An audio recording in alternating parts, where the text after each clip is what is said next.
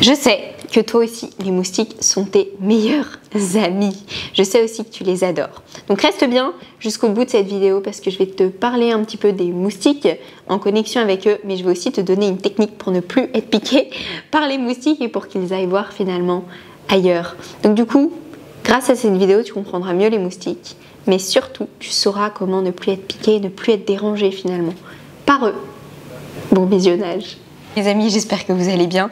Je vous retrouve avec mon nouveau copain euh, pour une vidéo que je sais que vous attendez depuis longtemps, pour un podcast que vous attendez depuis longtemps aussi, qui est sur comment est-ce que finalement la connexion animale transforme ma relation avec les moustiques, comment je vois les moustiques aujourd'hui, est-ce que c'est mes amis ou pas, est-ce qu'ils me piquent ou pas, enfin comment ça se passe avec les moustiques? Parce qu'on sait bien à quel point c'est les amis de nombreux humains les moustiques. D'ailleurs, je pense que toi aussi, ton meilleur ami est un moustique. On le sait bien, on est tous très amis avec les moustiques. Alors déjà, petite précision.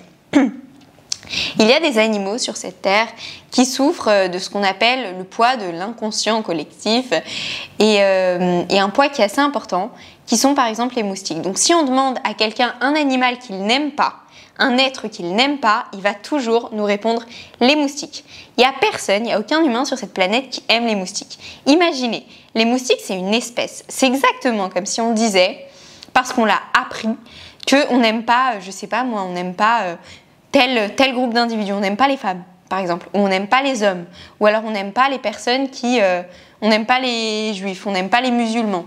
À chaque fois qu'en fait on prend un groupe, quel qu'il soit, alors là pour les moustiques c'est une espèce, mais peu importe, on prend un groupe d'individus, on dit eux je les aime pas, ou alors eux ils sont comme ça, c'est ce qu'on appelle de la catégorisation, et on oublie derrière ça qu'il y a des individus. Et on a tendance à l'oublier bien souvent, et moi aussi, moi aussi j'ai tendance à l'oublier bien souvent. Je vais dire par exemple, je suis en Indonésie, les Indonésiens sont comme ça. Non, les Indonésiens sont pas comme ça. Par contre, l'échantillon que toi tu as vu, ils sont comme ça. Ok? Mais on n'oublie pas que derrière, il y a des individus. Pour les moustiques, c'est la même chose. Pour les moustiques, c'est la même chose. Derrière l'espèce moustique, il y a des individus moustiques qu'on va découvrir lorsqu'on se connecte à eux.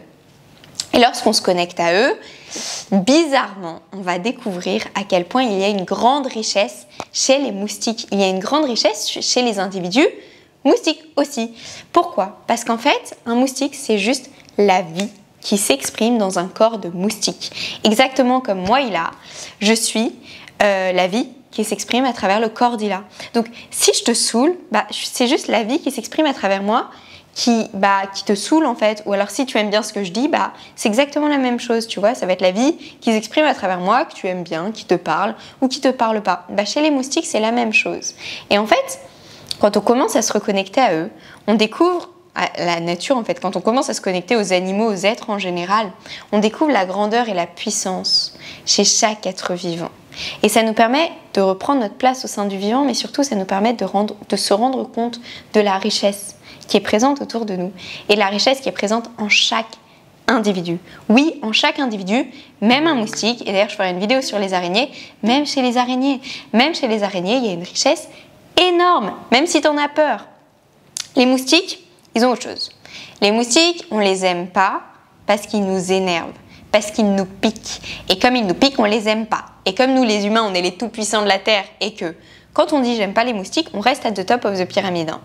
Les humains ont inventé une pyramide, juste petite entre parenthèses, une pyramide qui n'existe pas, sauf dans le monde des humains, qui est que l'humain est à the top, l'humain est au top de la pyramide parce que euh, l'humain c'est il est à l'image de Dieu. Donc c'est des croyances anciennes, c'est très archaïque, mais elles sont restées présentes pour nous encore aujourd'hui et pour tout le monde, 100% des gens, même moi j'ai encore l'impact de ce truc de pyramide là. L'humain est donc en haut de la pyramide, il est à l'image de Dieu, c'est lui qui a créé le monde, patati patata, en gros. Et en dessous, il va y avoir les animaux, parce que les animaux, ils sont éloignés de nous, mais, euh, mais, mais voilà, ils sont éloignés de nous, mais ils s'en rapprochent quand même un petit peu. On sait bien qu'on a du lien avec les singes, etc. Donc du coup, ils sont en dessous de nous. Ensuite, on a les végétaux, les végétaux qui sont encore en dessous, et ensuite les minéraux. Et même dans ce qu'on appelle la spiritualité, terme que je déteste, je pourrais faire une vidéo sur le sujet d'ailleurs si ça vous intéresse, dis-le moi. Mais bref. Euh, et, en fait, même là-dedans, bah, on continue cette classification de l'humain est au top en fait. Et donc, tout ce qui dérange l'humain, tout ce qui agace l'humain, tout ce qui énerve l'humain, tout ce qui est pas ok pour l'humain, tout ce qui blesse l'humain, tout ce qui fait du mal à l'humain, c'est mauvais, c'est nul, c'est méchant. Donc, moustique, pique, moustique, méchant, moustique, pas intéressant, moustique, nul. Mais qui a vraiment pris le temps d'aller rencontrer un moustique? Et là, tu vas me dire peut-être que tu n'en as pas envie, peut-être que tu n'as pas envie d'aller rencontrer un moustique. Mais tu sais, c'est comme quand on est enfant et que te dit euh, te dit de tester un nouveau plat et que tu dis non, j'aime pas. Oui, mais est-ce que tu as goûté? Non. Alors comment est-ce que tu peux dire que t'aimes pas? Bah là, c'est un petit peu la même chose en fait. C'est un comportement un peu euh, très euh, très basique de dire bah non en fait, j'en ai pas envie. Non, je veux pas, je les aime pas. Bah si en fait. Essaye et tu verras. Et en fait, quand on se connecte aux moustiques, on découvre une richesse, mais une richesse immense. Déjà, leur vision du monde, elle est si belle. Pourquoi est-ce que je dis ça? Parce qu'en fait, déjà, ils voient tout en micro, micro, micro détails. Et en fait, nous, on a tendance à être dans nos pensées quand on regarde la vie autour de nous, quand on regarde, tu vois, cette chambre où je suis là, si je regarde mon handpan, bah, je vais être là, ok, bon. Et on oublie en fait d'avoir de la gratitude et de reconnaître la beauté dans chaque micro détail. Pour un moustique, et ça c'est juste simplement sa vision du monde, une goutte d'eau, c'est juste magnifique. C'est un joyau, une goutte d'eau. C'est juste divin de voir une goutte d'eau. Pourtant, nous, quand on voit une goutte d'eau avec nos yeux, bah, on est là, ok, c'est une goutte d'eau. Mais en fait, être dans le corps d'un moustique, regarder comme voit un moustique, ça nous permet aussi de remettre les choses en perspective et de nous rendre compte de la beauté, de nous rendre compte de la richesse de chaque moindre détail. Et on peut se dire, en fait, on s'en fout, ça sert à rien. Non, ça sert, peut-être, ça sert à rien, mais c'est poétique. C'est poétique, ça rajoute de la poésie, ça rajoute de la musique, ça rajoute quelque chose de nouveau dans nos vies aussi, de, de commencer à, à s'émerveiller un petit peu aussi des petites choses, d'avoir de la gratitude pour ce qui est présent autour de nous. Et regarder, selon le regard d'un moustique, ça nous permet ça. Les moustiques sont d'une grande finesse, et tu le vois bien quand ils te piquent. Il y a quelque chose de très fin, très très très précis, très très très minutieux. Faut savoir, et ça c'est important aussi, les moustiques, ils servent à quelque chose sur cette terre. C'est pas parce qu'ils piquent qu'ils ne servent à rien. Pourquoi est-ce que je dis ça? Parce que très souvent on me dit oui mais les moustiques et les guêpes ils servent à rien. Non, tout est en équilibre sur la terre, tout est en équilibre parfait tout le temps. Et c'est pas nous, grand homme tout puissant, qui va décider que tel être sert à quelque chose et que tel être ne sert à rien. Ils sont utiles, sinon ils seraient pas là. Vraiment, s'il y avait un être qui à la limite pas très utile sur cette terre, c'est les humains. Les autres, honnêtement, ils font partie d'un écosystème qui vit grâce à eux, donc ils sont utiles aussi. Il faut savoir aussi que les moustiques, pour se reproduire, ils ont besoin de nous piquer. Donc, ça fait partie de leur survie à eux. À aucun moment, ils viennent nous piquer en se disant je vais lui faire mal. J'ai envie qu'elle se gratte de partout, j'ai envie qu'elle me déteste. Non, non, jamais. Jamais. Ils sont ils agissent pour leur survie. Simplement. Simplement, basiquement, il a faim, il mange. C'est tout. Il se dit pas euh, je vais lui faire du mal ou alors je vais le blesser. Non, il a faim, il mange. Quand un moustique vient vous piquer, bah, c'est qu'il en a besoin, donc il le fait.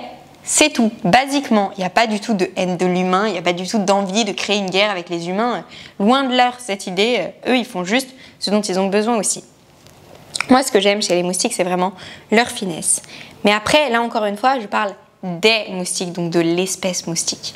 Moi, ce que j'aimerais, c'est vraiment ramener à l'individu, à la beauté de l'individu, encore une fois, et à la beauté de la vie qui s'exprime dans un moustique. C'est si beau. Parce que c'est la vie qui s'exprime dans un corps de moustique. Et qui on est vraiment pour juger, pour dire, euh, bah non, moi, la vie, quand elle s'exprime dans un corps de moustique, ça me plaît pas. C'est l'expression de la vie. Et, et moi, j'ai vraiment la sensation que Respecter la vie qui circule à l'intérieur de nous, respecter la vie qui s'exprime à l'intérieur de nous, c'est aussi prendre conscience de la beauté de la vie qui s'exprime chez les autres êtres.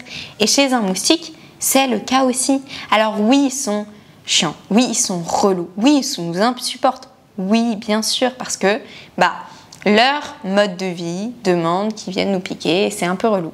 Moi, j'ai des techniques pour qu'ils ne me piquent pas, je vous donnerai ça à la fin. À la fin de la vidéo, je vous donnerai une technique pour que les moustiques ne vous piquent pas mais c'est autre chose. Euh, mais, moi, j'aime, j'aime vraiment me dire, ok, il a, t'es qui pour juger en fait? Tu te prends pour qui?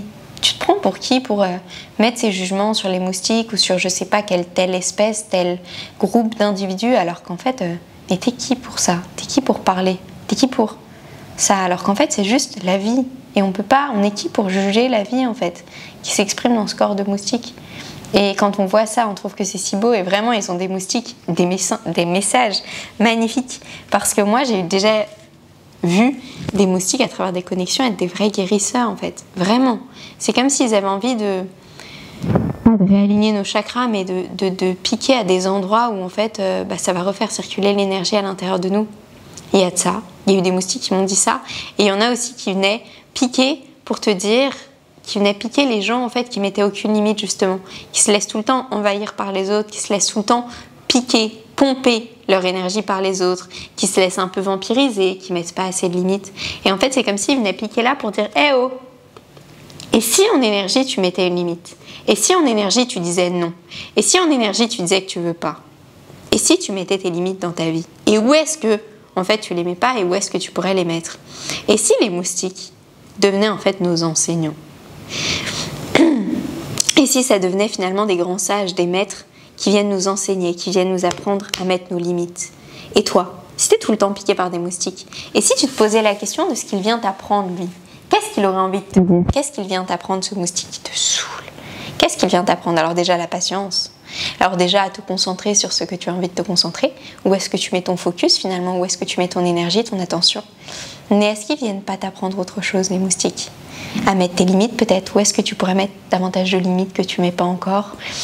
N'hésite pas à te demander la prochaine fois qu'il y a un moustique qui vient t'embêter, te dire ok, qu'est-ce qui vient m'apprendre lui? Qu'est-ce qui vient m'apprendre? Et tu vas voir qu'en fait, c'est des enseignants incroyables les moustiques, qu'ils ont énormément de choses à nous apprendre et à nous transmettre. Moi, les moustiques me piquent pas depuis toujours. non, pas depuis toujours. Depuis que finalement, depuis que j'ai choisi qu'ils me piqueraient plus. Mais en tout cas, je trouve qu'il y a de beaux, beaux, beaux enseignants chez les moustiques et, et vraiment, c'est des beaux êtres, uniques, magnifiques et vraiment à découvrir. Et c'est ça qui est beau dans la connexion avec les animaux, c'est qu'on va découvrir des êtres immenses, très grands. On pourrait prendre un éléphant, un éléphant c'est grand, c'est gros.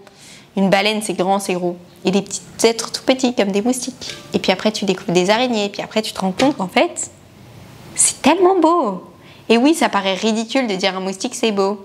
Mais en fait, c'est juste qu'on a oublié la valeur de la vie. Et je pense qu'on en revient beaucoup là en ce moment, mais on oublie la valeur de la vie, la beauté du vivant, la beauté dans chaque être. Et, on oublie tellement ça que ça nous paraît normal de tuer un moustique, ça nous paraît normal de dire que les moustiques c'est moche, que les moustiques c'est nul, etc. Alors qu'en fait c'est beau parce que c'est de la vie.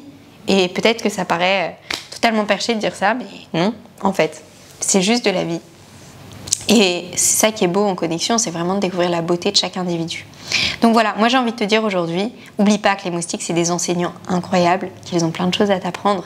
Et après, si tu mets tes limites, peut-être que les moustiques te piqueront plus. Moi, ce que je te propose, c'est d'essayer. Essaye de mettre tes limites. Essaye de voir où est-ce que dans ta vie, tu mets pas de limites, où est-ce que tu pourrais en mettre. N'hésite pas à voir aussi les moustiques comme des super médecins guérisseurs chinois qui viennent te piquer là où ça va refaire circuler ton énergie. Parce que lorsqu'on les voit comme ça, on les aime finalement. Et comme tout est dans la tête, toujours, on connaît bien l'effet placebo, tout ça, et bah si tu imagines qu'ils viennent refaire circuler ton énergie, il y a des chances qu'ils viennent refaire circuler ton énergie, en tout cas qui t'aident à ça. Donc n'hésite pas à imaginer ça aussi. Je pense que c'est des super techniques. n'hésite pas à me dire dans les commentaires comment ça s'est passé pour toi la prochaine fois que tu rencontreras un moustique et que tu prendras le temps, tu prendras vraiment le temps de te dire ok, qu'est-ce qu'il vient m'enseigner, qu'est-ce que lui vient m'apprendre, où est-ce que je mets pas mes limites? Et et si c'était un médecin finalement, un médecin incroyable qui vient refaire circuler l'énergie à l'intérieur de moi. Et puis n'hésite pas à juste te rendre compte qu'en fait c'est beau, c'est la vie qui s'exprime dans un moustique, c'est un être, c'est un individu, c'est un membre d'une espèce certes, mais comme tous les humains ne sont pas pareils, tous les moustiques ne sont pas pareils non plus, c'est pas parce qu'ils sont tout petits qu'ils sont tous les mêmes. Non. Donc voilà, donc n'hésite pas à penser à tout ça et à me dire dans les commentaires comment ça s'est passé pour toi. Déjà, si cette vidéo t'a parlé. Si elle t'a parlé, n'hésite pas à la partager pour qu'elle puisse parler à d'autres gens, puisque je sais très bien à quel point les humains sont amoureux des moustiques. Et j'aimerais bien, pas que ça change, parce qu'en fait, c'est peu importe, mais juste qu'on n'oublie pas ce qu'il y a derrière un moustique finalement. Et puis si ça peut t'aider, de les voir, comme je t'ai dit, avec ces trois conseils. N'hésite pas à me le dire dans les commentaires et à me dire dans les commentaires comment ça s'est passé pour toi. Encore une fois, si tu penses que cette vidéo t'apporte, n'hésite pas à la partager afin qu'elle puisse apporter à d'autres personnes autour de toi. C'est un peu comme ça que les messages se répandent.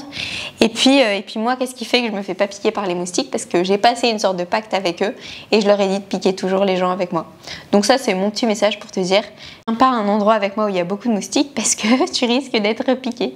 Donc voilà, ça fait partie des petites techniques. Je t'en ai donné une autre avec les limites et avec tout ça. Donc voilà. Mais c'est aussi possible de faire ça aussi. Donc ça c'est la magie de la connexion avec les animaux. Voilà, voilà. Euh, par rapport à la connexion animale, d'ailleurs, si ça t'intéresse, toi, de développer cette capacité-là, je te mets un lien juste ici et dans la description où tu pourras justement laisser ton adresse email parce que la prochaine, le prochain groupe formation qui se transforme, qui sera plus comme avant, mais de connexion animale va bientôt arriver. Elle risque d'arriver en octobre-novembre, donc euh, donc voilà, je sais qu'il y en a beaucoup, beaucoup, beaucoup, beaucoup qui l'attendent, que j'ai fait une sorte de pause, donc j'en ai moins parlé.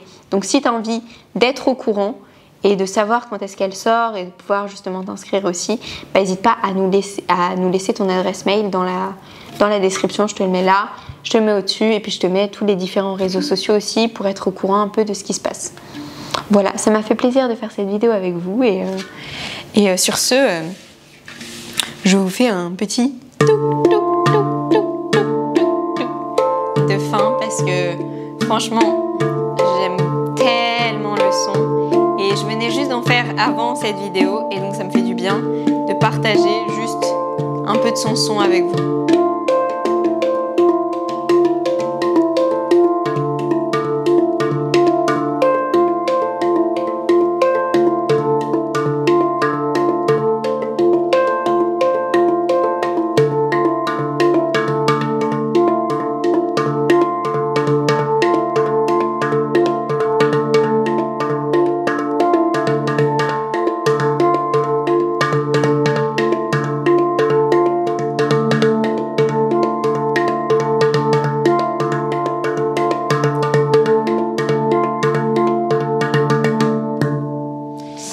J'avais envie. Franchement, c'était pur élan d'inspiration. J'avais envie de faire ça. Donc voilà. Voilà pour aujourd'hui. Je vous aime fort les loulous. À bientôt.